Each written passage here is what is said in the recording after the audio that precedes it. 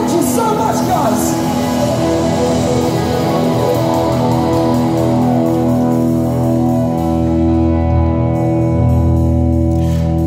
I'm going to play you a little single from that now. This one's called Mercy.